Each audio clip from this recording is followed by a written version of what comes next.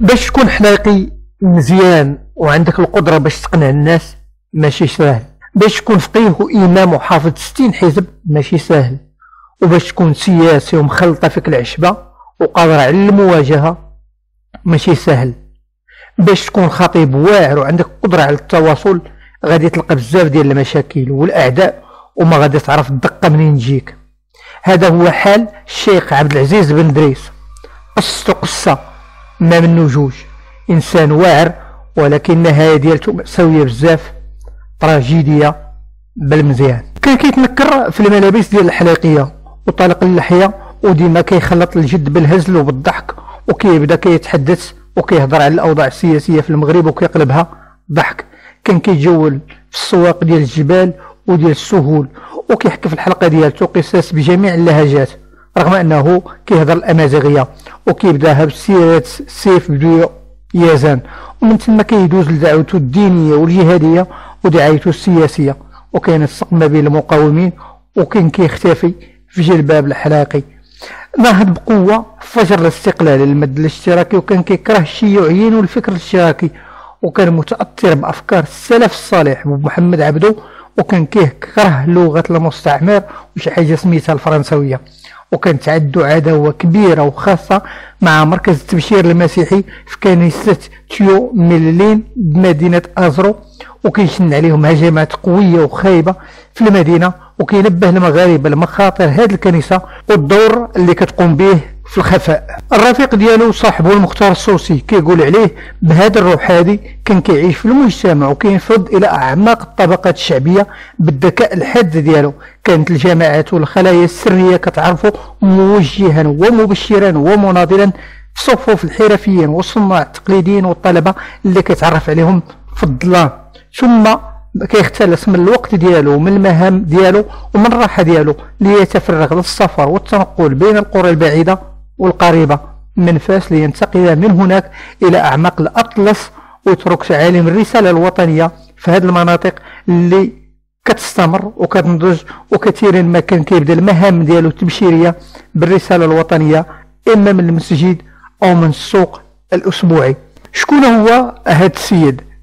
هذا السيد هو الشيخ عبد العزيز بن دريس بن عبد الرحمن العمراوي الحسني اللي تولد سنة 1907 من قبيلة إيموزار فاس تلقى التعليم ديالو الأولي على يد باه الشيخ عبد الرحمن ثم على الفقيه محمد العالمي في علوم الفلك والرياضيات والتوقيت. وتكون آه، تكوينا علميا متينا نظرا للنشأة ديالته في بيت ديال العلم وديال المعرفة.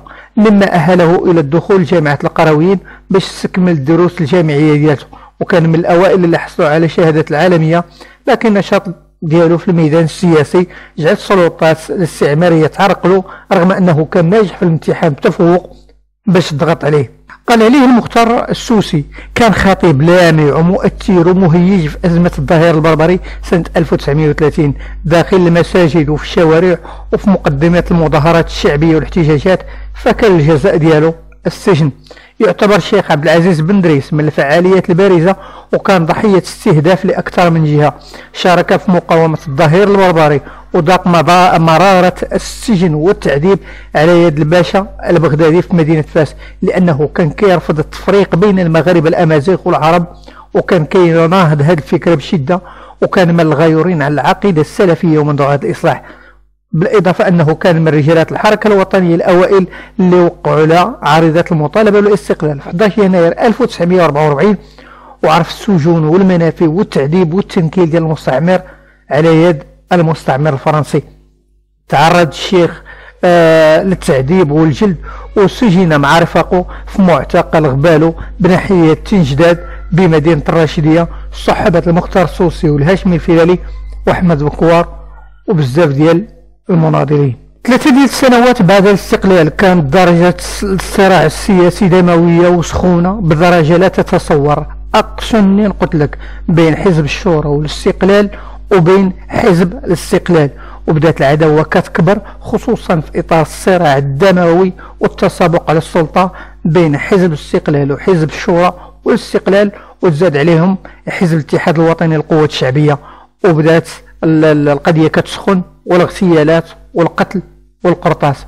في هذا الصدد هذا تعرض في 24 أبريل 1959 آه الشيخ آه عبد العزيز بن دريس بتحناوت قرب مراكش وكان متوجه في نفس اليوم لإلقاء محاضرة ديالته وهو سير في الطريق إلى مكان الحفل هجموا عليه وأصيب بضربة بالعصا في الأذن ديالو في الراس ديالو وأخرى بالسكين بموس في العنق ديالو مات فيها بالبلاصة. ألقي القبض على ما ينف على عشرين شخص منهم المتهمان الرئيسيان شكون الأولاني؟ هو الحسن بن الحسن القهواجي والثاني هو محمد بن الحسين أحمد المدعو العور. أما المتهم الرئيسي الثالث وهو الحسن بن محمد بن الحسين باشوش الملقب بالسكليست فهرب وما غادي يشدوا عليه إلا بعد اغتيال ديال القبطان. الغول بمراكش. وهذه العناصر عندها علاقة كبيرة بمجموعة شيخ العرب. تم القتل ديالو بعد أن شخدت شخد رأسه بمعنى تشلخ راسه بالحجارة ونقل جثمانه إلى فاس وتدفن بالقباب خارج باب فتوح. بن دريس دفع الثمن نيابة على حزب الاستقلال الذي كان يتهم في ذلك الوقت بالقيام باغتيالات كبيرة في سوق الأربعة وبدار بريشة اللي هي دار ديال التعذيب وكل شيء كيعرف القصة ديالها. ثمن الأخطاء ديال حزب الاستقلال حزب الاستقلال. وكيقول حزب الاستقلال أن الشيخ عبد العزيز بن دريس كان ينتمي إلى حزب الاستقلال ومفتشا عن الحزب. بمراكش هكا تنتهي قصة الحلايقي والشيخ والمناضل عبد العزيز بن دريس رغم أنه ساهم في بداية الثلاثينات إلى جانب علال الفاسي وشكيب أرسلان في تحقيق أجزاء من كتاب العبر لابن خلدون المنشور سنة 1936 بالقاهرة. رغم أن الموت ديالو فيها أكثر من طرف وأكثر من جهة وتم التكتم عليها.